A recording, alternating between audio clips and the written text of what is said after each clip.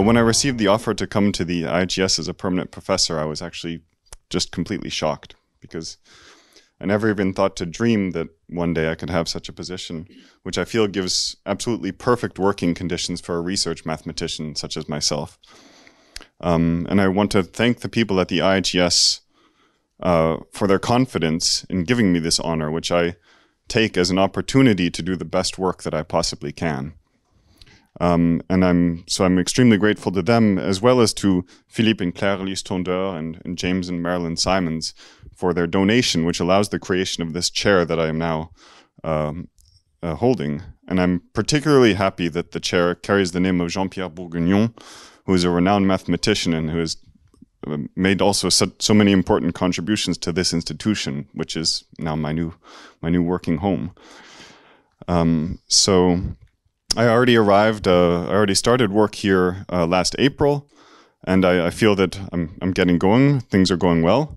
Um, so on the one so my interests in mathematics are on the one hand quite close to those of uh, various other professors who have been here.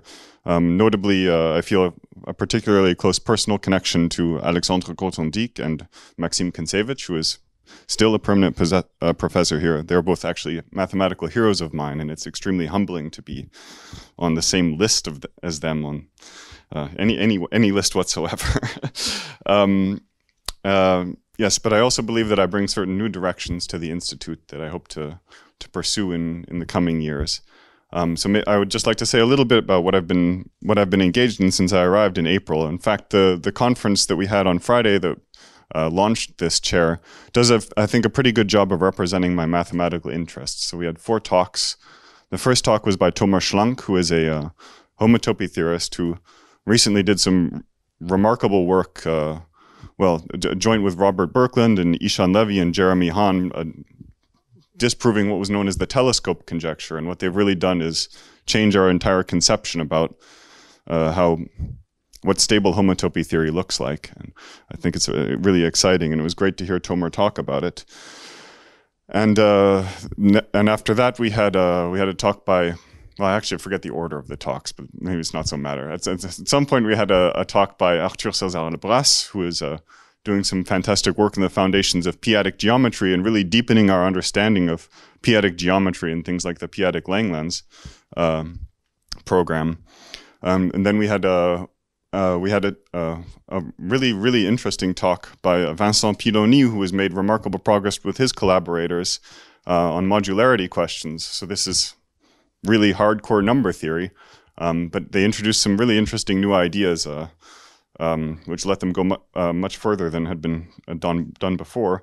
And then we had Peter Scholze give a rather fantastic, and I mean that in both senses of the word, uh, talk uh, about how the theory that he and I have been developing recently should have something to say about the theory of motives, which was a, a, subject very dear to the heart of, well, a subject invented and very dear to the heart of uh, uh, who worked here before.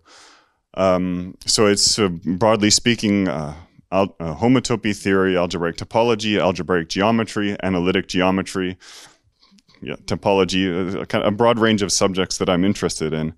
And um, one other thing that I've been uh, occupied with over the past year is uh, giving a course, a rather long course, uh, together with Peter Scholze. It's kind of a an interesting new format where we alternate giving two-hour lectures um, on Wednesdays and Fridays, and we have local audiences here at the IHES, but also in Bonn where Peter is lecturing, and it's broadcast simultaneously.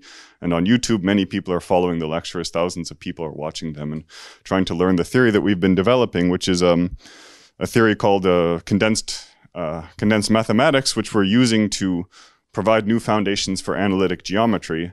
And this is something that many people have uh, been been learning. We're very very grateful that many people have made the attempt to, to learn this theory. Of we've we've been developing it, and not just learn it, but have already been applying it to a number of interesting problems. In fact, this conference I mentioned. Uh, uh, three of the talks were about applications of the theory that Peter and I had been well, used the mathematics that Peter and I have been developing to to really push their field uh, further.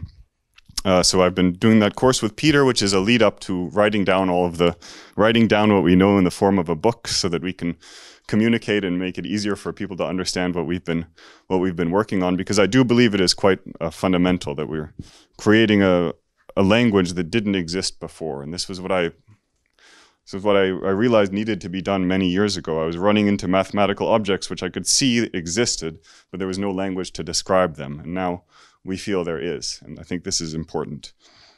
Um, and I've also had several visitors. For example, Robert Burklund, who I mentioned earlier, came here for a week and we managed to prove a, a, a rather famous conjecture in, in, in the field. So we're very happy about that. Um, I don't usually go around proving conjectures, but in this case, it was just a, a good way to test whether we had been doing, whether the community had been doing good work developing techniques in the field. And it turned out they had because we could, we could prove this conjecture. That was nice. Um, and I have a, a long-term collaborator, uh, Mikala Ørsnes Jansen, who's been visiting here, and I've been we've been developing a good theory of unstable algebraic K-theory, and that's been going quite well. So I'm very pleased with my first almost year here, and I uh, I'm dedicated to continuing and doing the best I can. I feel it's I, I, I have to because I've been given this amazing opportunity, and I'm looking forward to to trying.